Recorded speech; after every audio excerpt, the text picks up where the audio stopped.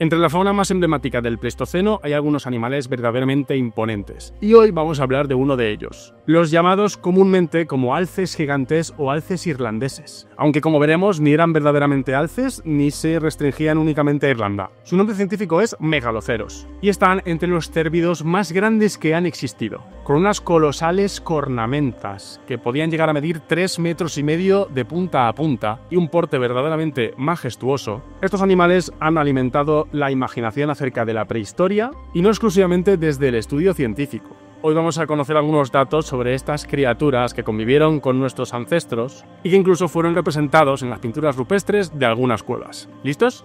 Empezamos.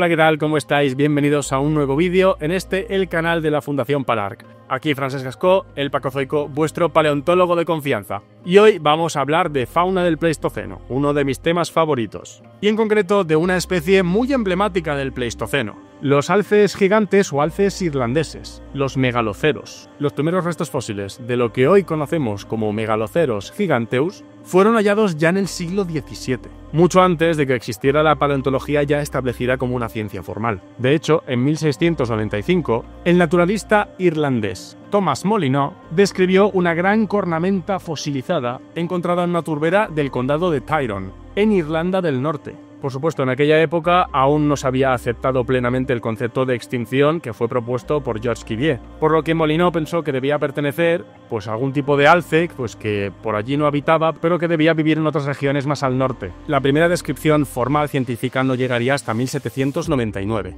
cuando el naturalista alemán Johann Friedrich Blumenbach nombró la especie como alce gigantea, tomando alce como una variante del género alces, género al que pertenece el alce actual. Sin embargo, esta denominación como que quedó obsoleta, se quedó atrás en el tiempo y no fue usada. Además, no cumple los criterios del Código Internacional de Nomenclatura En 1827, el naturalista británico Joshua Brooks usó el nombre Megalocerus antiquorum en el catálogo de piezas de su museo y usó este término megalocerus, derivado del griego megalos, o sea, de gran tamaño, y que era que significa cuerno. Aunque usó la grafía megalocerus, que no volvió a emplearse, en su descripción añadió una frase en latín: Cornibus decidius palmatis, o sea, unos cuernos eh, deciduos o caducos como las astas de los ciervos que se van renovando, y palmados, o sea, con forma de palma, de palma de la mano. Y según el Código Internacional de Nomenclatura Zoológica, esto sí que sería más válido por incluir una descripción. La forma megaloceros, que es la que conocemos hoy en día, se impuso rápidamente en publicaciones posteriores. En 1989, el propio Código Internacional de Nomenclatura Zoológica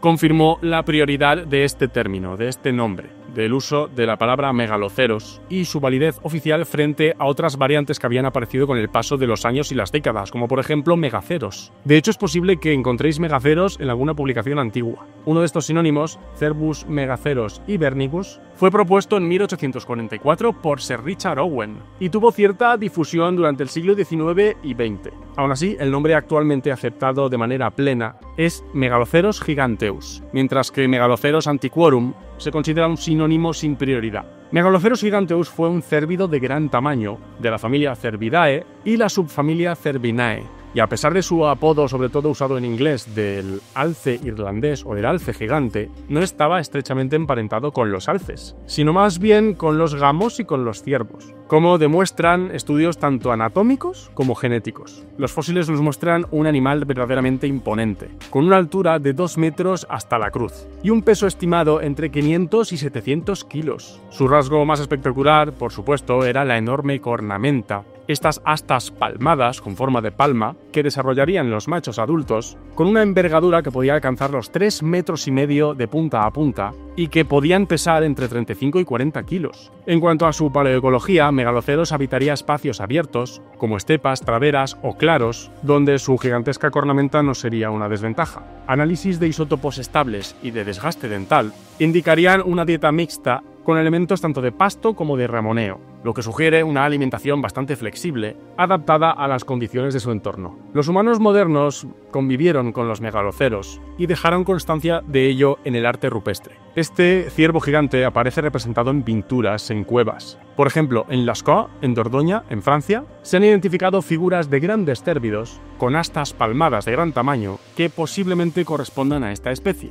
Por otro lado, en la cueva de Chauvet, y que es más antigua, tendría 32.000 años de antigüedad, también se han señalado representaciones de cérvidos, pero parece que la atribución de que sean megaloceros no está tan aceptada, está más discutida. Si bien los restos fósiles más conocidos son los que proceden de turberas irlandesas y de ahí este sobrenombre de alce irlandés, recordemos que en las turberas las condiciones de conservación son muy buenas. Pero lo cierto es que su distribución fue bastante más amplia. Se han encontrado sus fósiles desde Irlanda hasta Siberia, lo que indica una presencia bastante extensa en estos ecosistemas de Eurasia. De hecho, en Siberia se han datado restos de megaloceros que tendrían unos 7.000 o 7.500 años de antigüedad, y esto ya es post Pleistoceno, esto ya es Holoceno, de manera que es posible que se hubieran refugiado en algunas zonas remotas que todavía conservaban las condiciones climáticas del Pleistoceno, y allí aguantaron un poquito más. Esto sugiere que su extinción no fue repentina y abrupta, sino más bien gradual, posiblemente causada por una combinación del cambio climático, el fin de las condiciones en las que estaban adaptados con el fin de las glaciaciones y la presión de la caza humana, como no. ¿Qué os parece? Si os interesan estos temas, estáis de enhorabuena porque estamos preparando vídeos que no os podéis perder.